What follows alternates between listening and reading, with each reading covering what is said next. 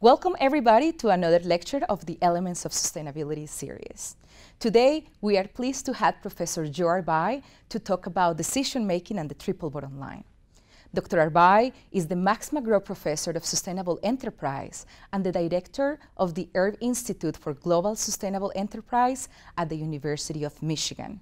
In addition to his position at U of M, he is a senior researcher at the Decision Science Research Institute in Eugene, Oregon, and an adjunct professor in engineering and public policy at Carnegie Mellon University in Pittsburgh, Pennsylvania.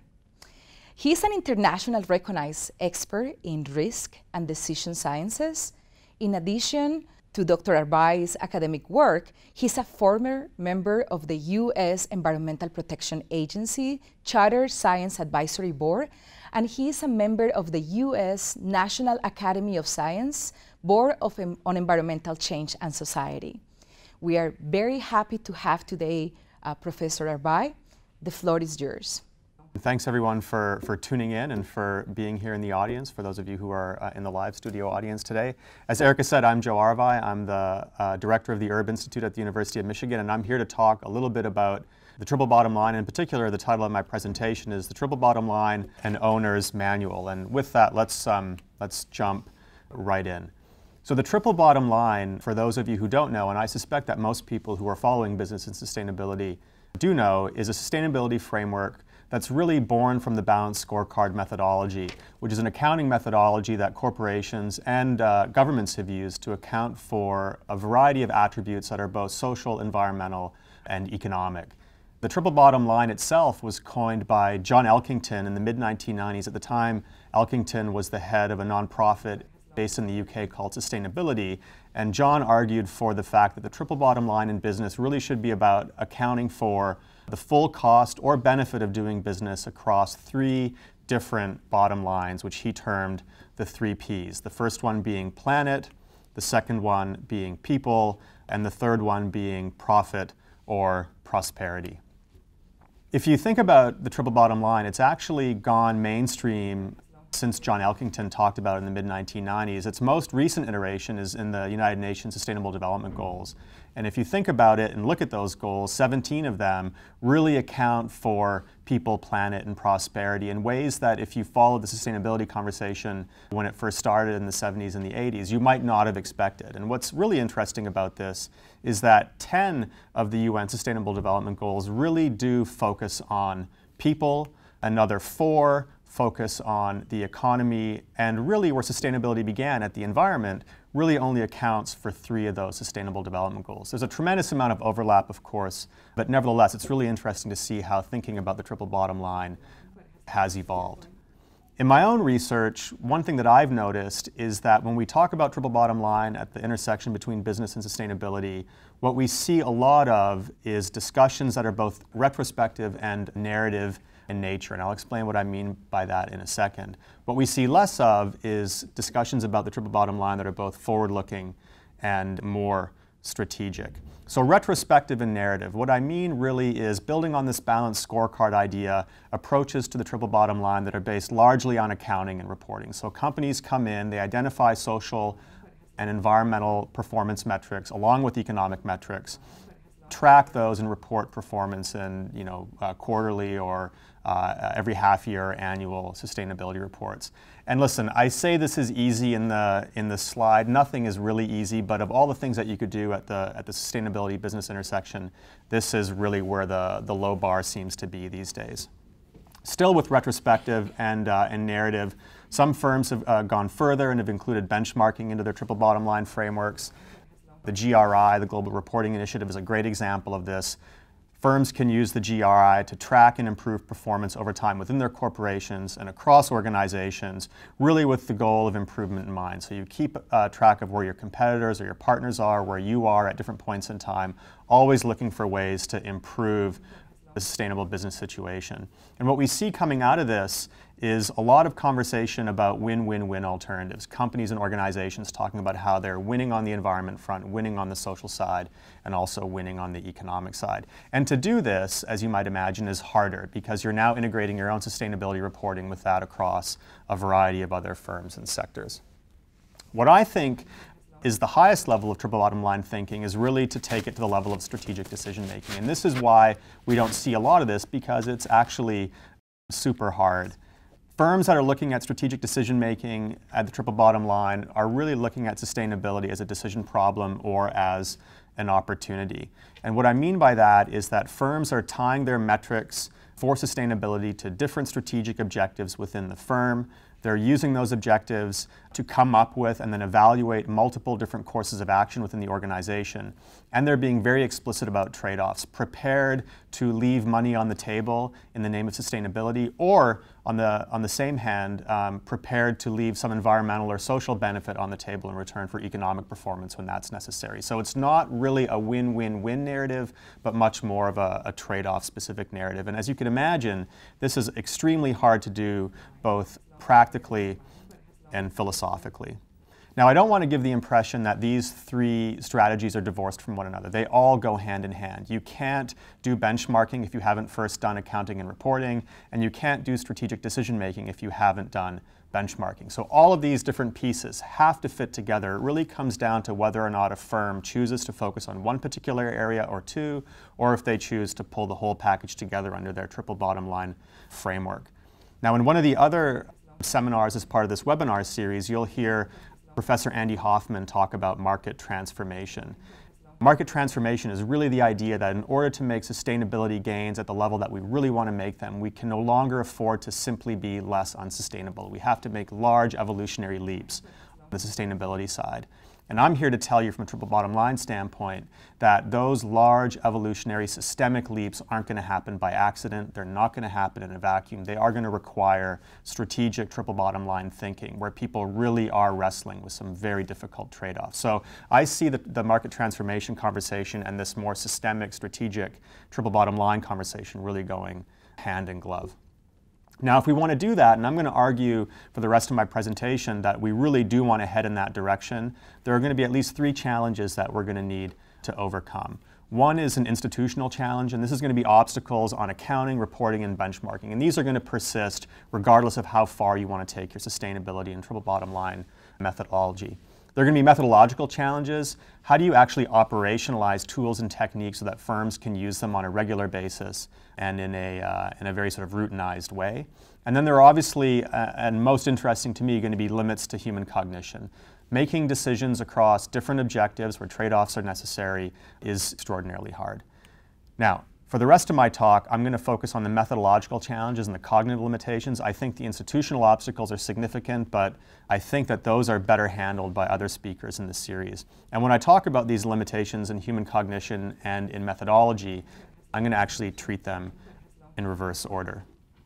Now, what you're looking at, I hope you can um, see this, is um, the metaphor I use when I teach my class on human limitations.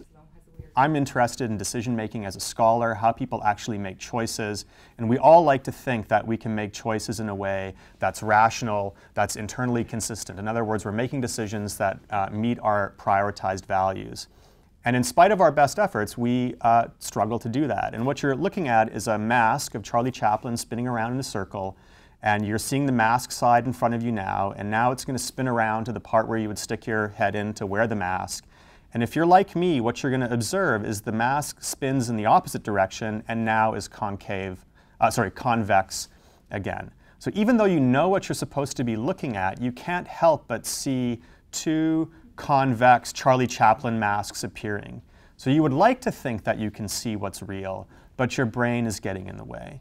And decision making is exactly the same. We would like to think that we're making choices that are in our best interests, that are aligned with our prioritized values but it's really hard to do that because there's a lot of cognitive machinery that trips us up. And I'm going to talk about a few examples of that that go above and beyond Charlie Chaplin spinning on a stick now.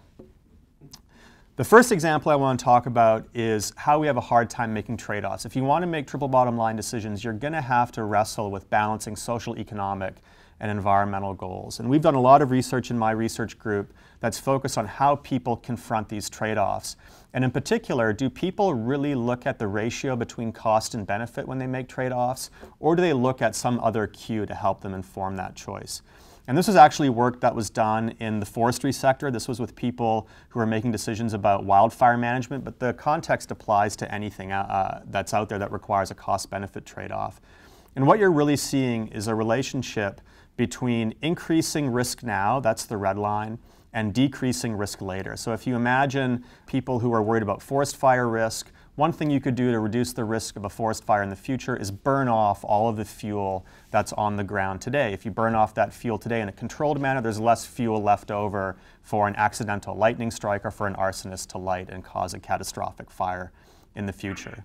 You can ramp up the degree to which you're aggressive in burning off that fuel today. And the more aggressive you are today, you travel up that red line. You incur more risk today with a hotter fire to burn off that fuel. In return for that, you travel down the blue line over the future course. So in other words, as you take a more aggressive course of action today, you reduce the risk in the future because less fuel is available.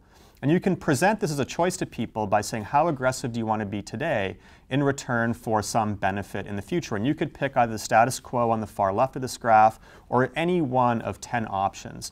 And what we tell people is when you make this choice, think carefully about the ratio between cost and benefit. Another group of people, and these are all people who live and work in these urban wildfire interfaces, are shown this profile. And what you'll immediately notice is it's exactly the same profile as above, but it's just sawed off at option 7. And we've contained or we've compressed 10 alternatives into that space. And we basically ask people to make a choice between risk and benefit in this situation.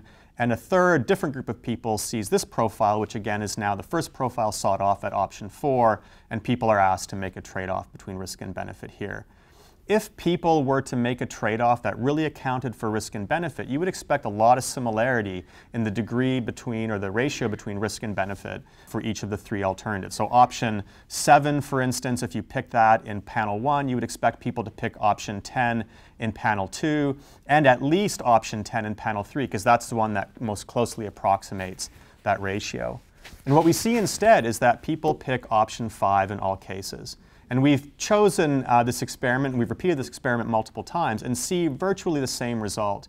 And what we're basically able to infer from this is when people make these kinds of risk-benefit trade-offs, which are not uncommon in the sustainability space, people aren't necessarily looking for the ratio between cost and benefit. They're looking for other cues that help them make this choice. And in this case, the cue is, I don't want to be too aggressive and crazy on the one hand. I don't want to be too passive and non-aggressive on the other hand. I want to be somewhere in the middle. So we can actually use techniques like this to manipulate choices, which is really what a lot of people who work in choice architecture do, nudging. Or we can take the approach that I take, which is to find ways to get people to think more carefully about the ratios and the trade-offs that they really want to make.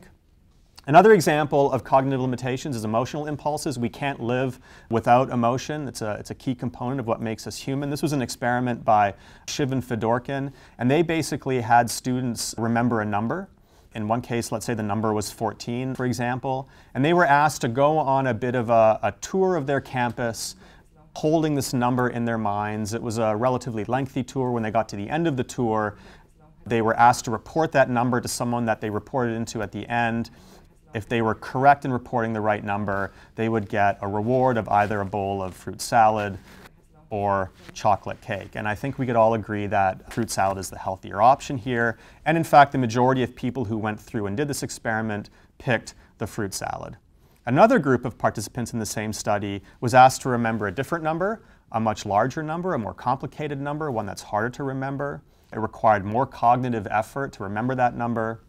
They went on the same tour. They got to the end. They were asked to report the number. If they reported it correctly, they also got to choose between a fruit salad reward or a chocolate cake reward.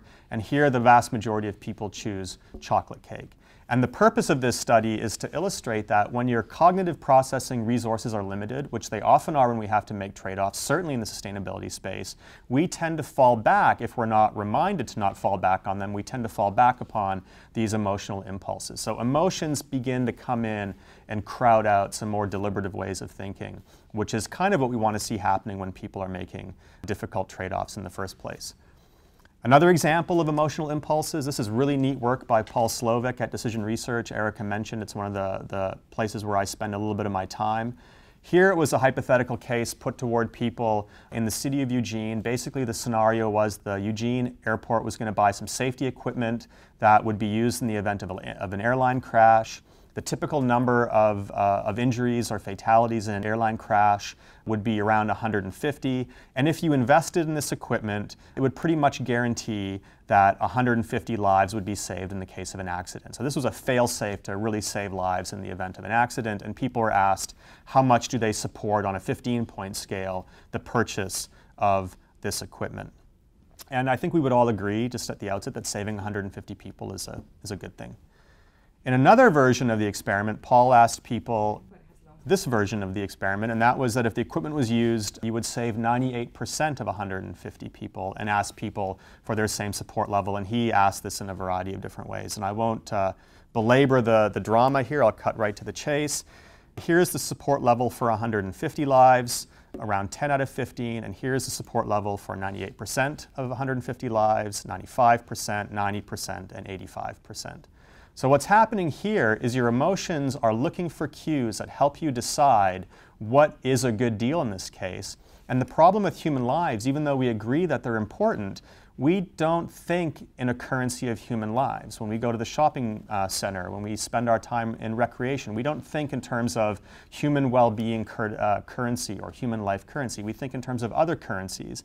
We think in terms of money or percent gains. And what happens here is we have a very strong positive emotional impulse attached to 98% or 95% or even 90%. Imagine saving that much money if you bought a car or laundry detergent. That would be a really fantastic deal. Giving someone a raw price wouldn't compute in the same way. So here people are reacting to cues that are steering their decisions in non-optimal ways. And once again, these are things that we need to think about if we're really trying to help people structure sustainability decisions at the business sustainability nexus.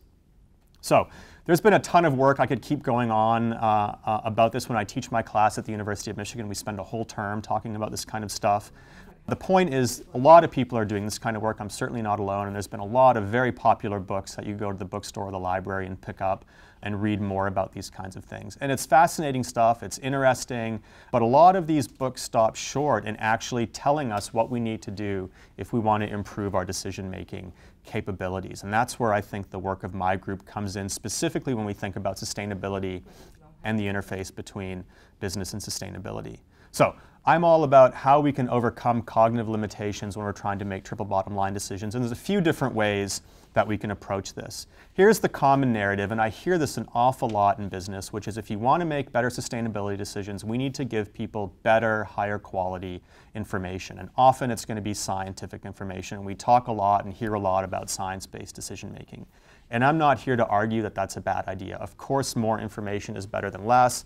And we've done a number of studies that illustrate that the more information and the more knowledge people have about, for example, climate change, the more willing and able they are to make complex trade-offs about strategies and policies or business actions that would ameliorate that risk in the future.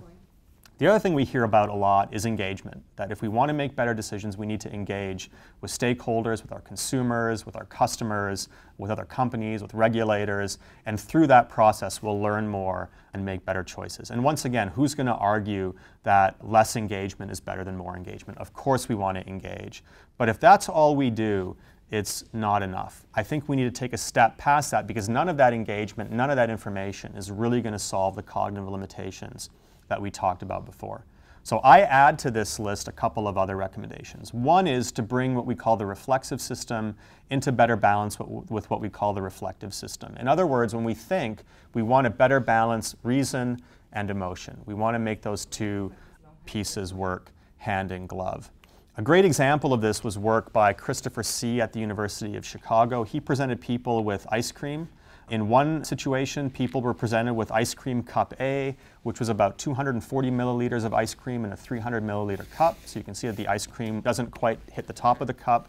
Another group of customers at an ice cream shop only saw cup B. This was 200 mils uh, of ice cream in a 150 milliliter cup. So the ice cream is above the cup and flowing over the sides.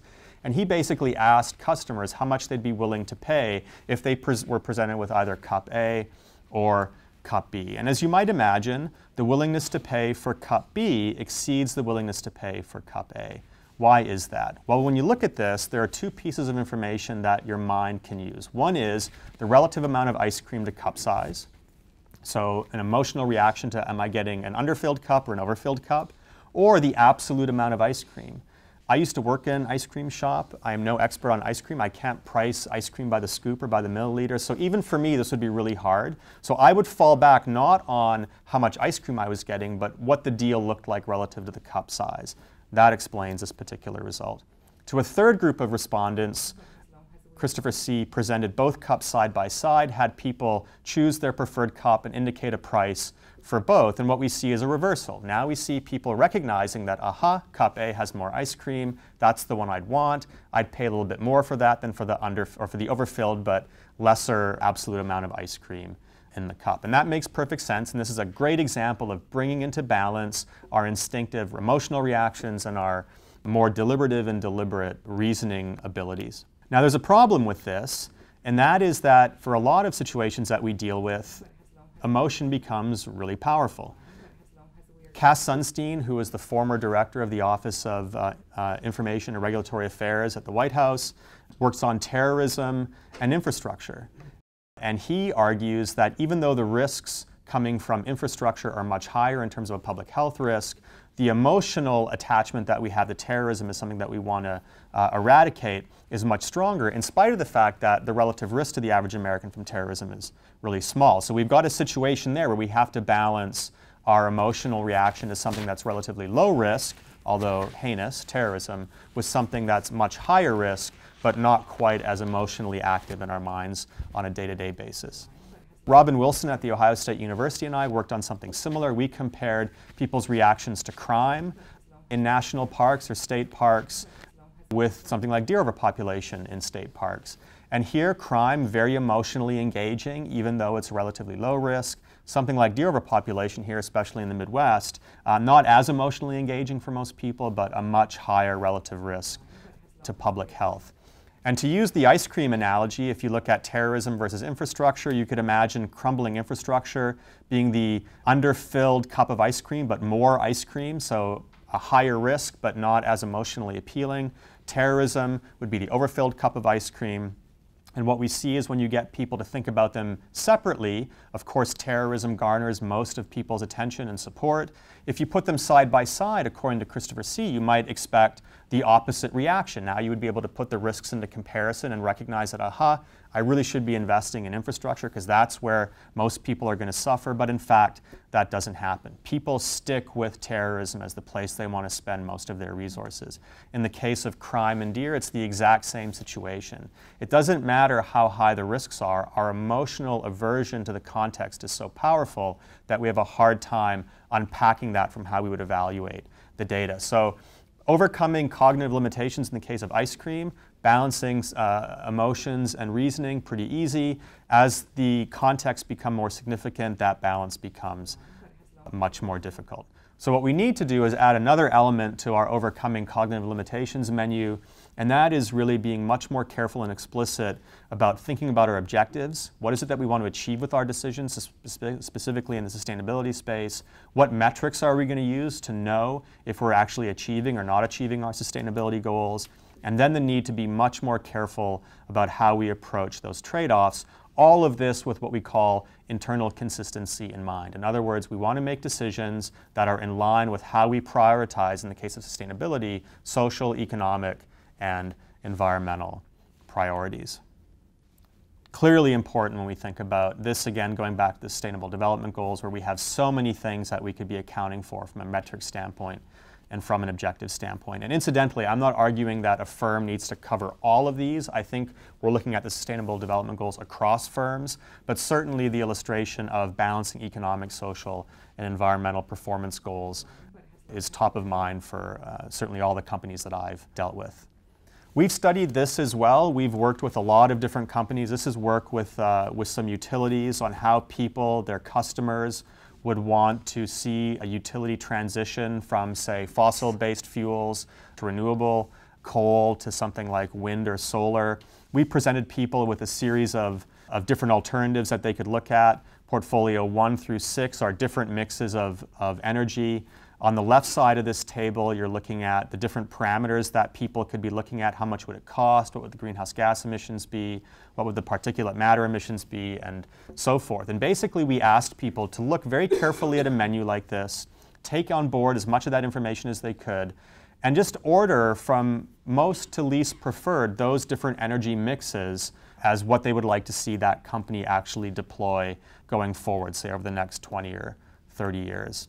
And what you see for any individual really is a preference order that might look like this. Portfolio 2, preferred to 4, which is preferred to portfolio 3, portfolio 5 in fourth position, and then 1 and 6. So most preferred on the left-hand side of this figure, least preferred on the right. Fair enough. That's how we often do it. That's how we vote. That's how we make decisions at the grocery store. We look, we evaluate, we indicate a preference. What we did next was we took people back to this matrix and didn't ask them to look at the portfolios and choose their preferred portfolio. We instead asked them to prioritize the different attributes. How important relative to greenhouse gas emissions was cost? How, relative, how important relative to particulate matter emissions were greenhouse gas emissions and so on? So we elicited what we call weights across all of these parameters and on the right-hand side of this figure, you see how for one individual, those weights shook out. Most of their priority was placed on cost, the second most on job creation, the third most on reducing greenhouse gas emissions, fourth for particulate matter emissions, fifth for reducing the land use impact of energy transitions, and then lastly, doing something that was perceived as being very innovative. What we can do now is take those weights, plug them into a model, and come up with a preference order that reflects exactly that set of priorities for that particular individual.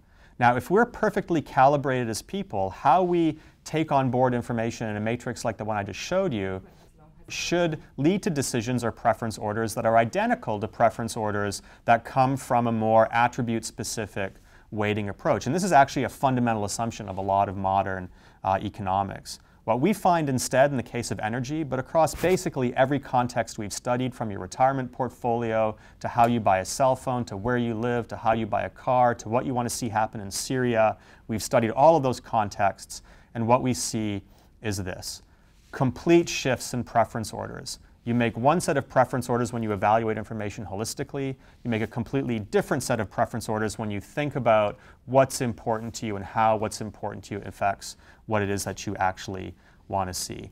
And I think this really more than anything is the problem that's at the heart of the contemporary business and sustainability narrative. The fact that we say we want to achieve certain things, Yet our decisions don't always reflect those priorities. It's not because we're bad people, it's not because we don't care, it's simply because there's a lot of cognitive machinery that we have to deal with and overcome in order to, be, in order to be able to make preferences in the way that we would like to think that we are able to make them.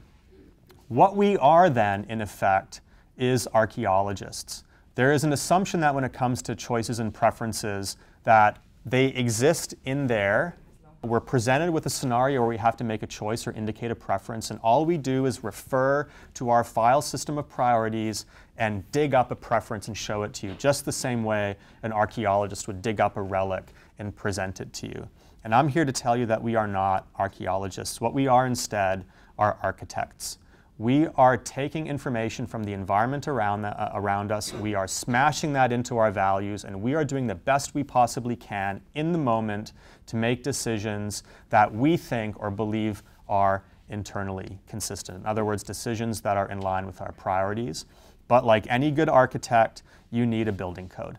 So in other words, if you do it instinctively, we're going to run into a lot of the problems that we ran in to in the experiments that we've done. If we start introducing a building code for these kinds of decisions, we argue in my research group that you can actually begin to make better, more internally consistent, triple bottom line decisions. And that's what I want to talk about in the last little bit of my presentation here, the building code. It looks something like this in our minds. This is one version of it. Different practitioners of the triple bottom line, the way that we think about it, adopt slightly different building codes. But really, it comes down to five key elements. The first thing is to really understand what the problem or opportunity is that you're confronting as a sustainability professional. What is it that you actually want to achieve as an end result of the decisions that you're about to make?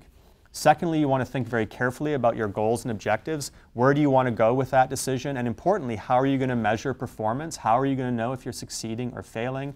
There's that famous quote of not being able to know where you're going if you don't have a map to get you there. So these objectives and metrics sort of perform the function of that roadmap. You then want to be able to create alternatives in a creative, systematic, and comprehensive way. We don't want to look at some alternatives at the expense of others. We want to be as broad in our thinking about what our options are as possible. We want to forecast the consequences of those alternatives in terms of how well or how not well we think they're going to help us achieve our objectives. And we're going to want to be very explicit about uncertainties as we go through that. And then lastly, we're going to want to set priorities and make trade offs before we ultimately choose. So, a lot of the kinds of elements that I've talked about in the presentation so far. An example of this was work that we did actually with another university. This was work with Michigan State University that was looking at decommissioning a coal-fired power facility on campus. Really, they were looking to transition to something that was more renewable, at the same time, really trying to uh, treat it as a triple bottom line scenario. So environmental benefit, social benefit, but also economic benefits. It would have to make economic sense. So the first step in all of this was really to define the problem space, the opportunity space we were working in. Some of the key things that we uh, uncovered is that you know when you're dealing with energy systems as a sustainability example, you really need to meet demand. You can't build something if it's not going to meet your customer's demand. And in this particular case, it was demands for both thermal and electrical energy. We had to generate enough electricity to power the university and the surrounding communities, and we had to generate enough heat in order for the university to, to operate under its sort of current heating and cooling systems. It had to be multi-party, it had to be interdisciplinary, so we really began to map out what this problem space would look like. The second step in the process was to really understand, according to our, uh, our building code, what different stakeholders' objectives were in a decision like this.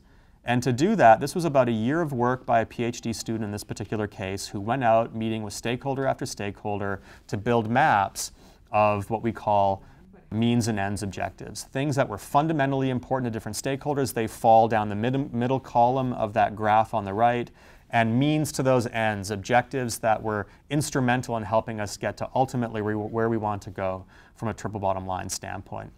And over the course of dozens of meetings with different stakeholders, nine different objectives really rose to the top as being broadly accepted as important across all the groups. Meeting demand, being efficient, increasing the renewable fraction, minimizing costs, creating jobs, reducing emissions, uh, reducing air pollution, and then doing things that were perceived to be, in this case, innovative. And you can see where that first experiment that I talked about a few minutes ago actually came from. It came from this particular experience that we had. We worked with a consultant out in Vancouver, British Columbia that does some work on decision support. They were able to help build a, an automated online framework that different stakeholders could use to develop their own energy portfolios that were efficient, that met the different uh, fuel kinds of constraints that we would be operating under, different power plant options, different decentralized energy options, different grid options. We could see whether or not the mixes people were building would meet demand as we indicated in our problem scope. And then we could see how whatever portfolio they were building would actually help them meet or not meet different objectives. And I'll play this through for a little while. This is a video of someone actually using the tool as they increase the energy efficiency levels. They start building a power plant with different fuel sources, moving to renewables. And as they're doing all of this, you're seeing on the lower left whether or not they're meeting demand. And on the lower right, how the different portfolios that they're building are actually helping them to meet the different objective targets that were set at the beginning of the process. Now here's the thing. If you ask a lay person, a customer of a utility, to build an energy system, you might not expect the most efficient or the most robust energy system. We weren't doing this to actually elicit from people what kind of energy system we would actually build. What we were doing was using this tool to educate people about how energy systems work. Because ultimately what we wanted from people was a set of internally consistent preferences. And as we said earlier on, one of the first steps in decision quality is getting people good information, getting them knowledgeable enough about the context to be able to make a smart triple bottom line choice. So all of this was to help them learn about systems. And if we were able to glean from this some models of energy systems that would work, that was a bonus as far as we were concerned. What we then did, according to the same kinds of experiments I talked about earlier, was we elicited weights on different priorities from each individual stakeholder group, and in many cases, each individual stakeholder, and we're able to translate those weights into preference orders. So we could then go back to people and show them among the different portfolios that they could consider, including the one that they themselves built. It's the one bar on the far right of your screen was a user-generated portfolio. Option two and option three were portfolios that were presented to people. We could then show them, according to which priorities they set, which alternatives would perform the best. Now, we didn't then say, and now you must choose the one that performs the best. All we said was, here's a spectrum of alternatives. These are the ones that perform the best. These are the ones that perform the worst. Now it's up to you to decide which one you would like to see, in this case, the utility implement. So it was really a tool not to come up with an answer, it was a tool for facilitating a dialogue that would lead organizations working with their stakeholders to come up with an answer that made sense to the most people. We did a bunch of evaluation of a tool like this. We've used other tools like this in other contexts, and they work extraordinarily well. They lead people in the direction of more internally as compared to less internally consistent preferences, which is what we want when we talk about the triple bottom line and it makes them happy. They understand what's going on, they feel like they're learning more, they feel great levels of satisfaction, and importantly, they're much more willing to go along with decisions that are the product of a decision like this than ones that are made in a more holistic and perhaps intuitive fashion. So the analogy that I use for my students when I talk about this stuff is when it comes to sustainability, we're basically playing Moneyball. We are going through and looking at a whole bunch of alternatives that we could consider that we used to consider in a very intuitive and haphazard way that was contaminated by all kinds of biases, all kinds of emotional reactions. And we're trying to get to a place where we can make science-based decisions that at the same time align better with our priorities. In the case of Moneyball, you want to win games. In the case of business and sustainability, we want to make big sustainability inroads. And the way we think we can get there is by actually adding some much needed structure to the kinds of decisions that we're trying to make. So let me um, wrap up with some conclusions. I've spoken today about a few different approaches to the triple bottom line, accounting and reporting, this idea of benchmarking, and then lastly, strategic decision making. I want to say, as I wrap up, that all three are valuable. As I said at the beginning of the talk, you really can't do level three without level two, and you can't do level two without level one. So I really see this as a system. But I would remind you that if market transformation is really the goal of a transition towards sustainability in business, then I think we need to start thinking and recognizing that more strategic shifts in how we as firms make decisions is going to be absolutely critical. I'll also conclude by reminding you that the tools that we talk about, the approaches that we talk about for sort of helping to foster more internally consistent triple bottom line decisions are not intended, at least by us, to give you the answer. We're not here to tell you what to do or how to think. What we're here to do instead is to facilitate a well-structured dialogue and well-structured deliberation. We want to help you approach what is in intuitive, in an intuitive sense, a very complex problem with some tools that decompose that complexity into more cognitively manageable parts that you could systematically work through. So dialogue and deliberation are the goals, as are things like debiasing and importantly, helping us to question what are often unquestioned assumptions about what we care about or what we think sustainability is. Third, these tools are really there to help us balance social, environmental, and economic performance. Really, for us, the name of the game is trade-offs. I know that's a loaded word. People don't like talking about trade-offs, especially in the sustainability space, because it implies giving something up to get something else. But nevertheless, when we think about sustainability over the long term, that really is what we're doing. We are giving up something we value at time A in exchange for something that we value maybe at time B for different reasons. And I think we just have to be honest with ourselves that those kinds of decisions are hard and we often need help in making them. And then lastly, the takeaway should be these approaches are about structure, not necessarily about technology. So I showed you a framework that was all about computerization, automation, to get people to make decisions in a systematic and internally consistent way.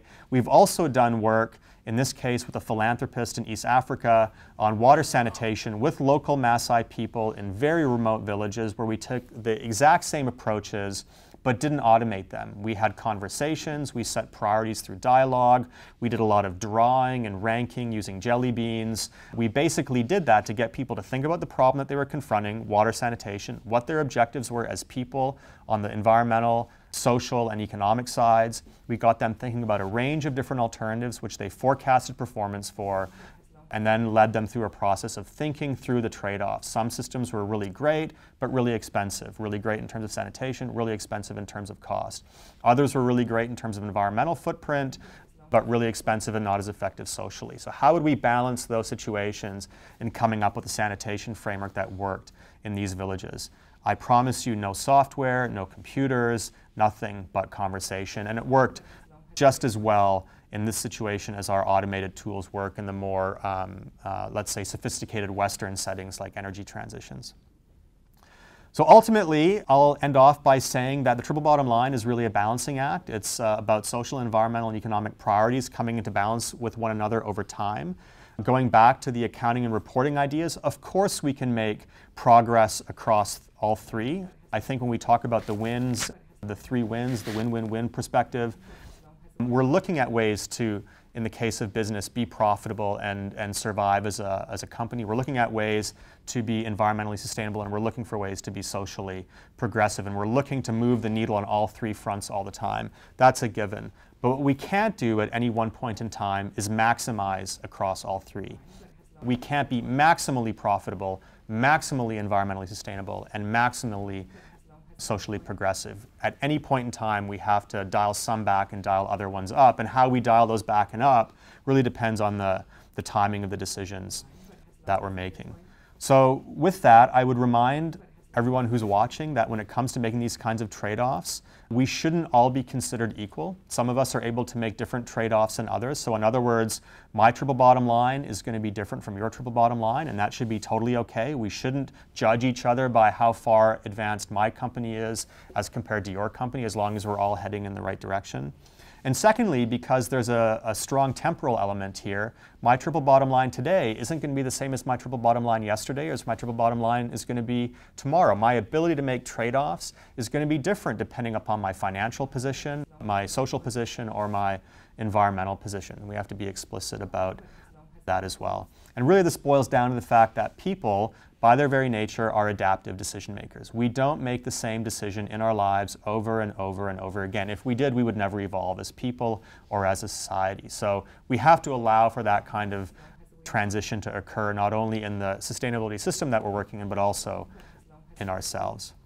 And then lastly, if we take all these pieces and pull, to, pull them together, we can actually move in the direction of what we call adaptive management, where we learn from our experiences in the past by being strategic and build those into decisions that we want to make in the future, all in the name of those three Ps that Elkington started us off on at the very beginning of the presentation today. With that, uh, let me thank you for your attention. Let me wish you all a happy Earth Week, and I'd be happy to take some questions from Erica.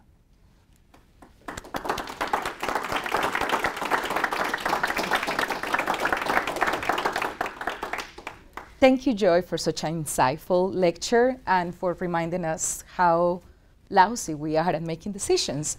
Um, so that's a question that I have for you in regards, you know, we are trying uh, to influence people every single day, and especially when it comes to sustainability, we're looking for those cross-functional, uh, across geography support. So how do you help, how, what do you recommend us to be able to influence people knowing that we often run on autopilot and don't really make good decisions when we are in that state? That's a, that's a really fantastic question, I, and I love the autopilot uh, analogy. You know, I think that the first step is really one of education. Um, and you know, I talk about this in my in my day job at the university, where in order to be a, a better decision maker, I think you need to be aware of what it is you're up against cognitively and contextually when you make these kinds of choices. So anything that we can do that alerts people to the kinds of challenges that they confront or are about to confront uh, would help. Secondly, I think organizations, when we talk about businesses or governments or different nonprofits, it doesn't really matter.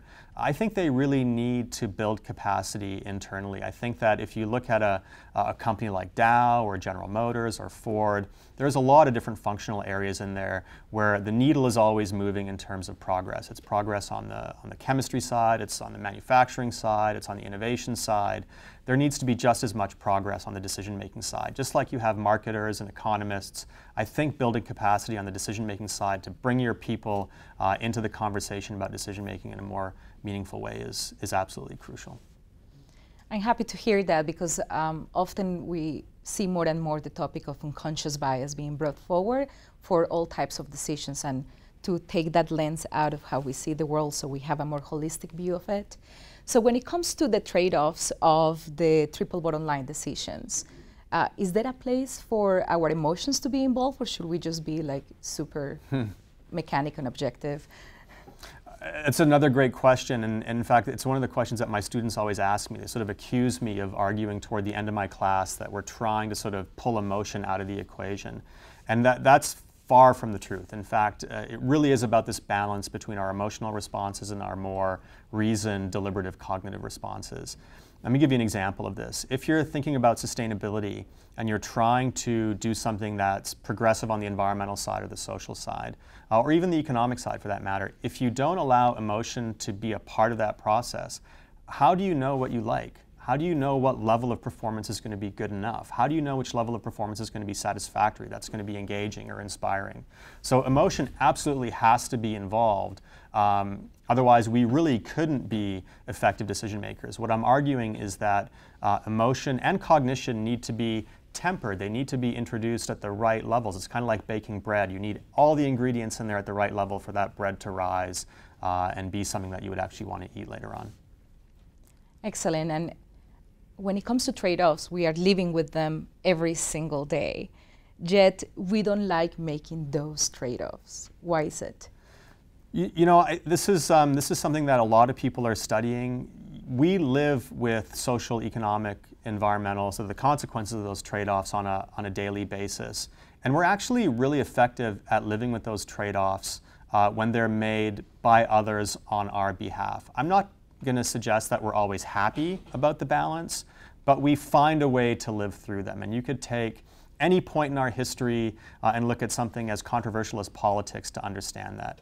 Sometimes people are happy, sometimes people are upset, uh, but by and large, people get up in the morning, they put their pants on one leg at a time, and they proceed through uh, their days ask someone to make those trade-offs themselves and it's a different ballgame altogether. And what happens is that we feel like we're violating our own personal moral code. So if I have to suddenly give up something, let's say environmental performance in exchange for job creation, that creates a moral conflict in me uh, that's not consistent with how I view myself from the outside. So oftentimes my first reaction to a decision like that is simply going to be to say, I'm not going to make it. I refuse to make a decision like that. What that leads to is a lot of status quo thinking. So I think um, a lot of the tools that we talk about are really intended to break through that kind of uh, uh, difficulty in, in, in, confronting those trade-offs so that we can take more control over the trade-offs that we're willing and unwilling to make and not just, necess- not just be uh, by necessity uh, uh, at the mercy of others making those decisions on our behalf.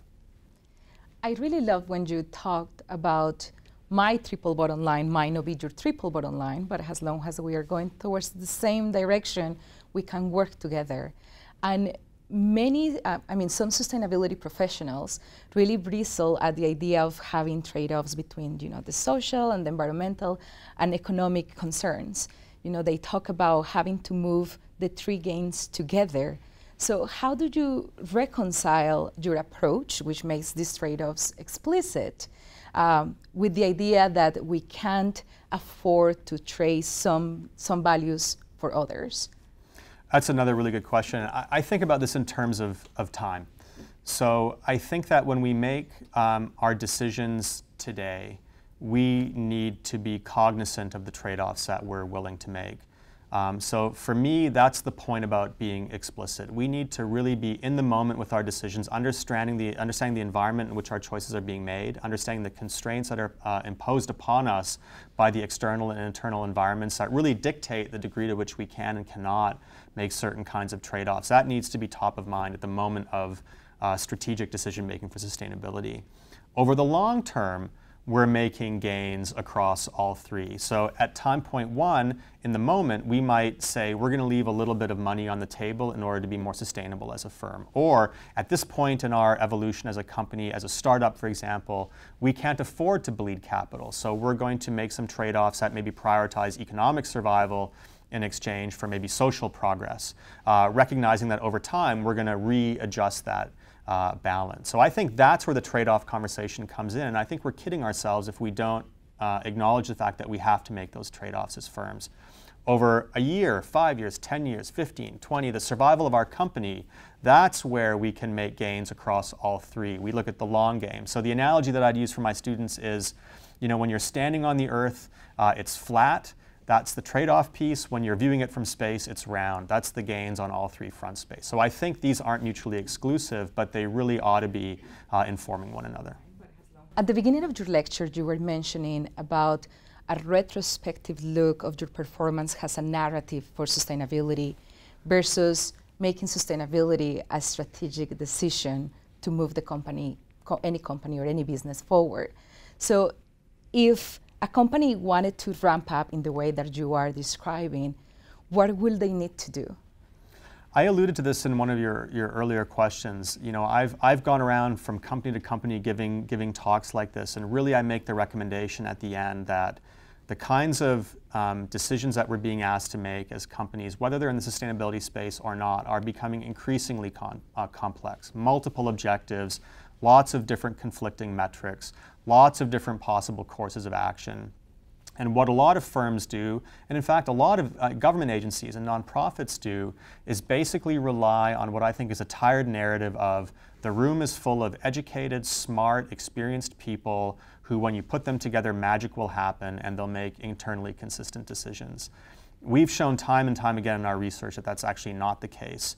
So what I argue for is just like you have an R&D group at a company like uh, General Motors on mobility or in Dow on chemistry, just like you have a marketing department that's trying to message in ways that capture people's attention, just like you have an economics uh, office that's really trying to understand the costs and benefits of doing business, you really ought to start to invest in internal decision support.